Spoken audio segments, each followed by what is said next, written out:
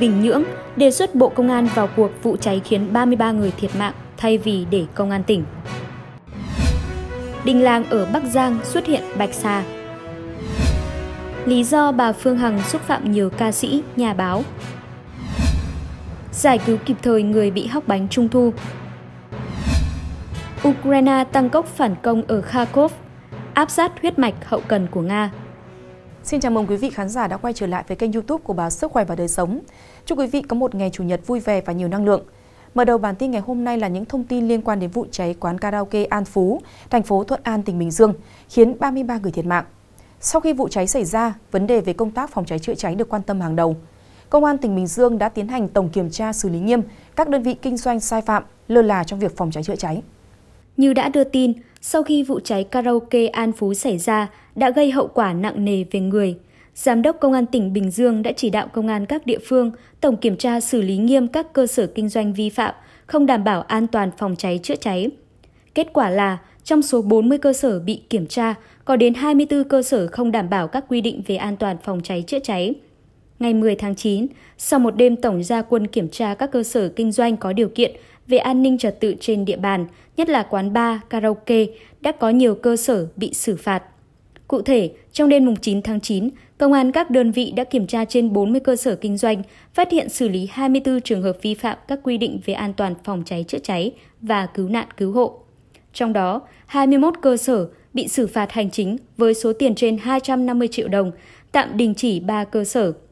Song song với việc kiểm tra, lực lượng công an cũng lồng ghép đã tuyên truyền vận động các chủ cơ sở không ngừng cảnh giác, chấp hành nghiêm pháp luật, không để hậu quả đáng tiếc do hỏa hoạn gây ra. Với tính chất nghiêm trọng của vụ án, khi đã khiến 33 người thiệt mạng, nguyên Phó trưởng Ban dân nguyện Lưu Bình Nhưỡng đã có đề xuất giao cơ quan điều tra của Bộ Công an tiến hành làm rõ vụ án và các vấn đề phòng cháy chữa cháy thay vì để Công an tỉnh đảm nhiệm. Ông Nhưỡng đặt vấn đề, các anh cứ nói kiểm tra thường xuyên, chặt chẽ, làm nghiêm túc, báo cáo đầy đủ, nhưng tại sao làm tốt hết mà lại gây hậu quả thảm khốc như vậy? Quán karaoke bít kín đến nỗi khi xảy ra cháy, cảnh sát phải mất nhiều thời gian mới đục thủng được một lỗ trên tường để đưa thiết bị chữa cháy vào. Như vậy thì không thể nói kiểm tra tốt được, bởi nếu có kiểm tra, có chấn chỉnh, chắc chắn mọi việc sẽ khác. Trong quá trình điều tra, cần làm rõ toàn bộ sổ sách cho thấy công tác quản lý, kiểm tra điều kiện phòng cháy chữa cháy tại quán karaoke này như thế nào. Theo ông Bình Nhưỡng, Trường hợp vụ cháy xuất phát từ lỗi của chủ cơ sở kinh doanh karaoke thì vẫn có trách nhiệm quản lý nhà nước trên địa bàn về vấn đề này. Cần tách bạch, cá thể hóa trách nhiệm của từng bên. Bởi rõ ràng, thảm họa vừa rồi cho thấy công tác quản lý nhà nước về phòng cháy chữa cháy có vấn đề. Có thể nói, sau khi vụ cháy thương tâm tại quán karaoke An Phú, tỉnh Bình Dương xảy ra, người ta mới thực sự quan tâm đến vấn đề phòng cháy chữa cháy và làm sao để hạn chế các vụ cháy nổ. Ngoài việc minh bạch, rõ ràng trong quá trình kiểm tra, giả soát của lực lượng chức năng, các chủ cơ sở kinh doanh dịch vụ cũng cần tự giác chấp hành những quy định về an toàn phòng cháy chữa cháy. Hơn nữa, mỗi người dân cũng cần tự ý thức trang bị cho mình những kiến thức cần thiết nếu chẳng may xảy ra hỏa hoạn. Có như vậy mới hạn chế được tối đa những thảm họa cháy nổ gây thiệt hại nặng nề như thời gian vừa qua. Mạng xã hội gần đây xôn xao với đoạn clip được cho là bạch xà xuất hiện ở huyện Lạng Giang, tỉnh Bắc Giang. Ngay sau đó, công an huyện đã vào cuộc và thông tin chính xác về vụ việc. Thực hư ra sao? Hãy cùng chúng tôi theo dõi. Người đàn ông sau khi bắt được con chăn màu trắng đã không bán được với giá mong muốn nên đem thả tại đình làng của thôn. Vì hiếu kỳ và tò mò, nhiều người dân địa phương đã kéo đến rất đông để nhìn tận mắt và cúng bái. Ngày 10 tháng 9, Công an huyện Lạng Giang, Bắc Giang vừa thông tin về hình ảnh trên mạng xã hội cho rằng bạch xà xuất hiện ở đình làng thôn Thủ Dương, xã Nam Dương – Công an cho hay con chăn màu trắng do một người dân địa phương bắt được, sau đó thả tại đình làng thôn Thủ Dương, xã Nam Dương. Sinh vật trên dài khoảng 1 mét và nặng hơn 1 kg. Theo cảnh sát, khoảng cuối tháng 8, ông Nguyễn Văn Nhật, sinh năm 1963, trú tại thôn Thủ Dương, xã Nam Dương, bắt được con chăn trên tại huyện Lục Ngạn, Bắc Giang. Sau đó ông Nhật mang đi bán, nhưng khách trả giá rẻ khoảng 500.000 đồng nên ông này không bán mà mang thả tại sân đình thôn Thủ Dương. Sự việc sau đó được lan truyền trên mạng xã hội Facebook, kèm hình ảnh con chăn màu trắng nằm dưới bàn thờ chân gốc cây đề. Rất nhiều người dân địa phương do hiếu kỳ đã kéo đến xem và lễ bái. Cảnh sát cho biết thêm, con chăn màu trắng này chỉ có kích thước khoảng 1 mét, nặng khoảng 1 kg. Khi chụp ảnh, quay video, sinh vật này tạo hiệu ứng có kích thước to hơn thực tế. Cơ quan này cũng đề nghị người dân không lan truyền thông tin sai sự thật, gây mất trật tự trên địa bàn. Như vậy, thông tin về việc bạch xà xuất hiện tại địa điểm tâm linh đã được công an đính chính. Hy vọng rằng người dân sẽ không lan truyền những hình ảnh và thông tin sai sự thật, chưa được kiểm chứng gây hoang mang, ảnh hưởng đến tình hình an ninh trật tự. Liên quan đến vụ việc bà Nguyễn Phương Hằng bị tạm giam để điều tra về tội lợi dụng các quyền tự do dân chủ, xâm phạm lợi ích của nhà nước, quyền, lợi ích hợp pháp của tổ chức cá nhân.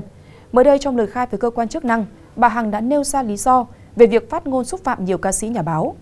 Lý do bà Hằng làm như vậy là gì? Xin mời quý vị cùng theo dõi ngay sau đây. Quá trình điều tra đối với hành vi sai phạm của bà Nguyễn Phương Hằng nhận được rất nhiều sự quan tâm của công chúng.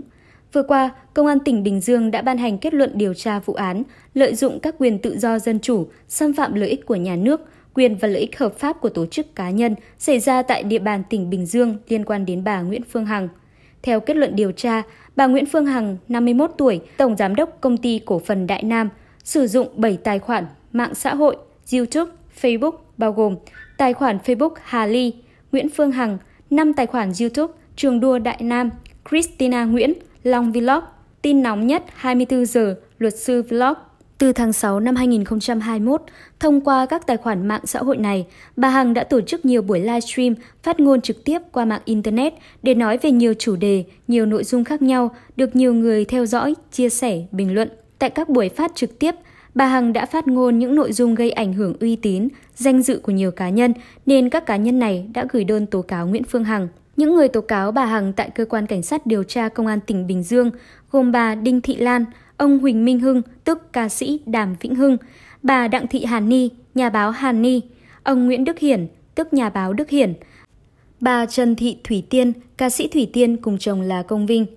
Trả lời cơ quan chức năng, bà Hằng trình bày nguyên nhân dẫn đến những phát ngôn về những người trên là do họ có những từ ngữ phát ngôn xúc phạm bà và ông Dũng, tức chồng của bà Hằng, nên bà dùng từ ngữ để xúc phạm lại những người này. Cơ quan Cảnh sát điều tra Công an tỉnh Bình Dương đã trưng cầu Sở Thông tin và Truyền thông tỉnh Bình Dương giám định tài liệu đối với các phát ngôn của bà Hằng về các cá nhân tố cáo bà. Các ngày 31 tháng 5, mùng 5 tháng 8 và 11 tháng 8 năm 2022, Sở Thông tin và Truyền thông tỉnh Bình Dương ban hành các kết luận giám định, kết luận phát ngôn của bà Hằng có chứa nội dung xúc phạm, xúc phạm nghiêm trọng uy tín danh dự cá nhân, vi phạm luật an ninh mạng năm 2018, Nghị định số 72 năm 2013 của Nghị định Chính phủ. Từ đó, Cơ quan Cảnh sát điều tra Công an tỉnh Bình Dương cho rằng hành vi của bà Nguyễn Phương Hằng là nguy hiểm cho xã hội, đã xâm phạm quyền con người, quyền, lợi ích hợp pháp của công dân. Căn cứ kết quả điều tra, cơ quan điều tra đã có đủ cơ sở kết luận hành vi của bị can Nguyễn Phương Hằng đã phạm tội, lợi dụng các quyền tự do dân chủ, xâm phạm lợi ích của nhà nước, quyền lợi ích hợp pháp của tổ chức cá nhân, tội phạm và hình phạt quy định tại Điều 331 Bộ Luật Hình sự. Những livestream của bà Phương Hằng lúc cao điểm đã thu hút cả triệu lượt xem trên các nền tảng. Việc phát ngôn của bà Hằng làm ảnh hưởng không nhỏ tới uy tín, danh dự của khá nhiều người, xâm phạm đến quyền và lợi ích hợp pháp của họ. Kết luận điều tra đối với bà Nguyễn Phương Hằng cũng là lời nhắc nhở mỗi người có những ứng xử văn minh trên mạng xã hội, không thể tùy tiện phát ngôn gây ảnh hưởng đến người khác. Nếu vi phạm, chắc chắn sẽ bị xử phạt theo quy định. Vừa qua trên địa bàn tỉnh Thừa Thiên Huế xuất hiện trường hợp lái xe ô tô lạng lách trên đường phố với tốc độ cao, gây ra tình huống cực kỳ nguy hiểm. Theo sau đó là rất nhiều xe máy chạy bộ truy đuổi và cho rằng tài xế ô tô gây tai nạn rồi bỏ chạy. Hiện công an đang tiến hành điều tra làm rõ vụ việc. Sáng mùng 10 tháng 9, một lãnh đạo phòng cảnh sát giao thông công an tỉnh Thừa Thiên Huế xác nhận đơn vị đang làm rõ về một trường hợp điều khiển xe ô tô chạy lạng lách giữa đường phố. Theo clip khoảng 3 phút trên mạng xã hội, lúc 20 giờ 30 tối ngày 9 tháng 9, một chiếc xe ô tô biển số 75A do một nam thanh niên điều khiển bên ghế phụ chở theo một người phụ nữ chạy vào hướng ngã 6 Hùng Vương. Truy đuổi phía sau là nhiều người đi xe máy, chạy bộ la hét chặn lại, bắt lại. Một số người dân cho rằng người điều khiển phương tiện này gây tai nạn rồi bỏ chạy. Khu vực chiếc xe này đi qua có rất đông người đi đường, tài xế lạng lách để tránh các xe truy đuổi nên gây mất an toàn giao thông. Khi đến khu vực gần cầu An Cựu, người điều khiển xe buộc phải dừng lại vì bị xe lực lượng chức năng và xe người dân bao vây xung quanh. Lực lượng cảnh sát giao thông thành phố Huế có mặt tại hiện trường. Tuy nhiên, đây là khu vực đường quốc lộ nên đã bàn giao cho PC08 Công an tỉnh để tiếp tục xử lý. Một lãnh đạo phòng PC08 cho biết, hiện chưa xác định được chiếc xe này có gây tai nạn hay không vì chưa nhận được thông tin trình báo. Hiện đang mời người đàn ông điều khiển phương tiện trên lên làm việc. Những ngày vừa qua, nhiều trang mạng xã hội đã đăng tải nội dung này và rất mong cơ quan công an sớm làm rõ. Liệu tài xế ô tô có gây tai nạn hay không? Tại sao lại bỏ chạy? Tất cả phải chờ kết luận điều tra của lực lượng chức năng. Nhắc đến lễ hội truyền thống vào rằm tháng 8 âm lịch của người Việt, chiếc bánh trung thu chính là một trong những biểu tượng. Đến dịp này có lẽ ai cũng sẽ thưởng thức những chiếc bánh trung thu theo cách riêng của mình. Tuy nhiên tại thành phố Hồ Chí Minh mới đây, người đàn ông sau khi ăn một phần tư chiếc bánh trung thu đã phải vào viện cấp cứu vì bị hóc đến nguy kịch. Rất may mắn người đàn ông đã được các bác sĩ bệnh viện Gò Vấp cứu chữa kịp thời. Ngày 10 tháng 9 vừa qua, bác sĩ Nguyễn Thiên Trung, khoa cấp cứu bệnh viện quận Gò Vấp cho biết, người nhà đưa bệnh nhân đến cổng khoa khi đã tím tái, thở ngáp cá. Nhận thấy tình huống khẩn cấp, bác sĩ hỏi nguyên nhân và được người nhà cho biết bệnh nhân bị hóc khi ăn khoảng 1 phần tư chiếc bánh trung thu. Bác sĩ Trung nhận định hóc dị vật đường thở, nhanh chóng dùng thủ thuật Heimlich giúp tống xuất bánh trung thu và nhiều đàm nhớt trong khí quản ra ngoài, ngay tại cổng khoa cấp cứu. Ông Trung nói, do bệnh nhân nặng khoảng gần 70 kg, không thể sốc lên nên phải để bệnh nhân nằm sấp, ấn mạnh vào vùng thượng vị theo hướng từ dưới lên trên. Bệnh nhân thở được, hết tím tái, được chuyển vào khu bệnh nặng tiếp tục theo dõi vì lúc nhập viện đã suy hô hấp rất nặng. Người bệnh có nhiều bệnh nền như tăng huyết áp, đái tháo đường, di chứng tai biến mạch máu não. Bác sĩ nhận định may mắn nhà bệnh nhân ngay gần bệnh viện, nếu đến chậm một vài phút sẽ khó qua khỏi do chết não. Hơn 6 năm làm cấp cứu, đây là lần đầu ông Trung gặp tình huống thế này. Bệnh viện từng tiếp nhận một số trường hợp hóc dị vật không được sơ cứu kịp thời, đến viện khi đã ngừng tim, ngừng thở, không cứu được. Hóc dị vật đường thở thường gặp ở trẻ nhỏ và người lớn tuổi. Bác sĩ khuyến cáo khi gặp trường hợp này, trong thời gian gọi cấp cứu 115 và đưa đến cơ sở y tế, người nhà cần sơ cứu bằng cách vỗ lưng, ấn ngực với trẻ dưới 2 tuổi hoặc dùng thủ thuật Heimlich với người lớn, trẻ lớn. Nếu nạn nhân ngưng tim ngưng thở thì phải hà hơi thổi ngạt. Tiếp theo sẽ là tình hình chiến sự giữa Nga-Ukraine. Theo nhiều chuyên gia, phía Nga đã bị bất ngờ sau những cuộc phản công liên tiếp giành thắng lợi của Ukraine. Thế phản công của Ukraine dường như đang phát huy tác dụng khi mà Kiev đang áp sát khu vực hậu cần quan trọng của Moscow ở hướng Đông Bắc. Giới quan sát cho rằng Nga những ngày qua đã chưa kịp phản ứng với tình hình ở Kharkov, cách Kherson hàng trăm km, khu vực mà Ukraine tuyên bố nhiều tuần rằng sẽ tiến hành phản công. Theo chuyên gia quân sự Korat Muzika từ tổ chức Rothschild, Ba Lan, ông Muzika cho rằng việc Ukraine liên tục tuyên bố phản công ở miền Nam dường như đã khiến Nga dồn lực lượng xuống đây, tạo ra khe ở ở Đông Bắc để Kyiv tiến hành phản công. Ukraine hôm 8 tháng 9 tuyên bố đã xuyên qua phòng tuyến của Nga ở Kharkov, tiến thêm 50 km và giành lại hàng chục khu định cư. Chuyên gia Neil Melvin của Viện Jusi cho biết, đây là một cuộc tấn công thực sự khiến các lực lượng Nga bất ngờ. Nó có thể mang lại tác động mạnh mẽ nếu Ukraine có thể đẩy mạnh và giành lấy thành phố Kupiansk. Kupiansk có một trung tâm đường sắt dẫn tới điền đồn quan trọng do Nga nắm giữ ở Izum. Từ khu vực này, Nga tiến hành các hoạt động tác chiến ở miền đông Ukraine. Kupiansk được xem có vai trò quan trọng trong nỗ lực tiếp tế hậu cần cho chiến dịch quân sự. Quan chức thân Nga ở Kharkov Vitaly Ganchov cho hay, người dân ở Kupiansk và Izum đã được di tản. Trong khi đó, quân đội Nga đăng video các đoàn xe thiết giáp dồn dập di chuyển tới Kharkov tiếp viện.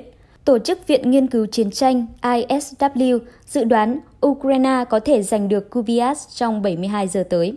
ISW nhận định, nếu kịch bản trên xảy ra, Ukraine có thể vây bọc Nga ở Izum và điều này sẽ gây thiệt hại cho Moscow ở Donetsk. Có một cơ hội để Ukraine đạt được đột phá ở Donetsk. Tổng thống Ukraine Volodymyr Zelensky hôm 8 tháng 9 tuyên bố Kyiv đã kiểm soát được 1.000 km vuông từ tay Nga kể từ ngày 1 tháng 9. Trước đó, cục diện chiến trường không có gì thay đổi đáng kể từ khi Nga tuyên bố đã giành được khu vực phía đông Lukas vào đầu tháng 7. Chuyên gia Muzika nói, tình hình tiền tuyến giống như bế tắc, nhưng có lẽ chúng ta đang thấy những dấu hiệu rằng Ukraine đang có lợi thế. Ông cho rằng cả Nga và Ukraine lúc này chưa đủ quân và khí tài quân sự để tiến hành một trận đánh quy mô lớn mà chỉ thực sự thực hiện các cuộc tấn công thăm dò, xâm nhập hạn chế vào một số khu vực nhất định. Trước tình hình Ukraine đang phản công ác liệt và giành lại được một số khu vực quan trọng, liệu Nga sẽ có những động thái gì? Mọi diễn biến về chiến sự sẽ được chúng tôi tiếp tục cập nhật trong các bản tin tiếp theo. Thưa quý vị, sự ra đi của nữ hoàng Anh Elizabeth đệ nhị đã để lại nỗi tiếc thương vô hạn cho người dân nước này. Để chia sẻ nỗi buồn này, Bộ trưởng Bùi Thanh Sơn đã đến trụ sở Đại sứ quán Anh ghi sổ tang và bày tỏ sự trân trọng trong việc thúc đẩy mối quan hệ hợp tác Việt-Anh của nữ hoàng.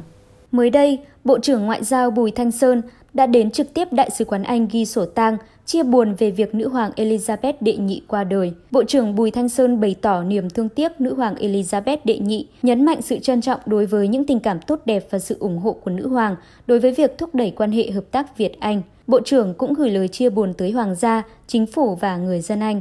Theo thông báo của Bộ Ngoại giao, trước đó ngày 9 tháng 9, Chủ tịch nước Nguyễn Xuân Phúc, Thủ tướng Phạm Minh Chính, Chủ tịch Quốc hội Vương Đình Huệ đã gửi điện chia buồn đến vua Charles III và các quan chức Anh. Nữ hoàng Anh Elizabeth đệ nhị qua đời ngày 8 tháng 9 tại cung điện Balmoral, Scotland, thọ 96 tuổi. Bà là quân vương có thời gian trị vì lâu nhất trong lịch sử Vương quốc Anh. Thái tử Charles, 73 tuổi, kế thừa ngôi vị, trở thành vua Charles III. Trong khi đó, hoàng tử William với tư cách người thừa kế ngai vàng nhận được tước hiệu mới là thân vương xứ Wales. Đại sứ quán Anh tại tầng 4 số 31 phố Hai Bà Trưng Hoàn Kiếm, Hà Nội và Tổng lãnh sự quán Anh tại số 25 đường Lê Duẩn, quận 1, thành phố Hồ Chí Minh đã mở sổ tang để tưởng niệm nữ hoàng vào ngày 9 tháng 9 và 9 giờ đến 16 giờ từ ngày 12 tháng 9 đến 16 tháng 9. Một đại diện của Đại sứ quán Anh tại Hà Nội nói rằng người dân tới ghi sổ tang cần xuất trình chứng minh thư nhân dân hoặc căn cước công dân. Phần cuối bản tin sẽ là những thông tin về tình hình mưa rông trên diện rộng ở Bắc Bộ. Theo dự báo, đợt mưa diện rộng ở khu vực miền Bắc sẽ có thể kéo dài đến ngày 12 tháng 9. Trong mưa rông có khả năng xảy ra lốc, xét và gió giật mạnh. Bà con cần lưu ý để kịp thời tránh trú đến nơi an toàn, bảo vệ tính mạng bản thân. Theo cảnh báo của Trung tâm Dự báo Khí tượng Thủy văn Quốc gia, đợt mưa diện rộng ở khu vực Bắc Bộ kéo dài đến ngày 12 tháng 9. Trong mưa rông có khả năng xảy ra lốc xét và gió giật mạnh. Nguy cơ cao xảy ra lũ quét, sạt lở đất tại các tỉnh vùng núi và ngập úng tại các khu vực trũng thấp. Cảnh báo cấp độ rủi ro thiên tai do mưa lớn lốc xét là cấp 1. Dự báo thời tiết các khu vực trên cả nước. Phía Tây Bắc Bộ có mưa rào rải rác, có rông, cục bộ có mưa to, thời gian mưa tập trung vào sáng và đêm. Gió nhẹ, trong mưa rông có khả năng xảy ra lốc xét và gió giật mạnh. Nhiệt độ thấp nhất 22 đến 25 độ C, vùng núi có nơi dưới 22 độ C, cao nhất 28 đến 31 độ C. Phía Đông Bắc Bộ và thủ đô Hà Nội có mưa rào, rải rác có rông, cục bộ có mưa to, riêng khu vực ven biển, khu vực Nam Đồng bằng Bắc Bộ. Sáng có mưa vừa, mưa to, có nơi mưa rất to và rông, thời gian mưa tập trung vào sáng và đêm. Gió Đông Bắc đến Đông cấp 2, cấp 3, trong mưa rông có khả năng xảy ra lốc xét và gió giật mạnh. Nhiệt độ thấp nhất 22 đến 25 độ C, vùng núi có nơi dưới 22 độ C, cao nhất 27 đến 31 độ C, có nơi trên 31 độ C. Khu vực từ Thanh Hóa đến Thừa Thiên Huế có mưa vừa, mưa to và rông, có nơi mưa rất to. Phía Nam có mưa rào, rông rải rác, cục bộ có mưa to. Gió nhẹ, trong mưa rông có khả năng xảy ra lốc xét và gió giật mạnh. Nhiệt độ thấp nhất 22 đến 25 độ C, cao nhất 27 đến 30 độ C. Phía Nam có nơi trên 31 độ C. Khu vực từ Đà Nẵng đến Bình Thuận, ngày nắng, chiều tối và tối có mưa rào, rông vài nơi. Gió nhẹ, trong mưa rông có khả năng xảy ra lốc xét và gió giật mạnh. Nhiệt độ thấp nhất 24 đến 27 độ C, cao nhất 31 đến 34 độ C. Khu vực Tây Nguyên và Nam Bộ, ngày nắng, đêm có mưa rào, rông vài nơi, riêng chiều tối có mưa rào, rông rải rác. Gió nhẹ, trong mưa rông có khả năng xảy ra lốc xét và gió giật mạnh. Nhiệt độ thấp nhất 20 đến 26 độ C, cao nhất 26 đến 33 độ C. Quý vị thân mến, tình hình mưa sông ở miền Bắc có thể kéo dài đến 12 tháng 9. Người dân đừng quên mang theo ô, áo mưa khi di chuyển ngoài đường và cần thường xuyên theo dõi những thông tin về tình hình thời tiết để sắp xếp lịch trình cá nhân sao cho phù hợp. Những thông tin vừa rồi cũng đã khép lại bản tin của chúng tôi ngày hôm nay. Cảm ơn quý vị đã quan tâm theo dõi. Kính chào và hẹn gặp lại.